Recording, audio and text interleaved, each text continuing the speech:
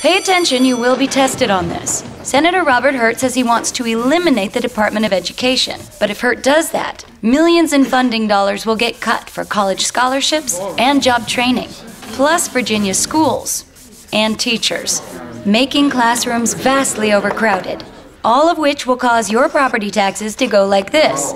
So here's the test Who do you want for your next congressman? Good answer. I'm Tom Perriello, and I approve this message.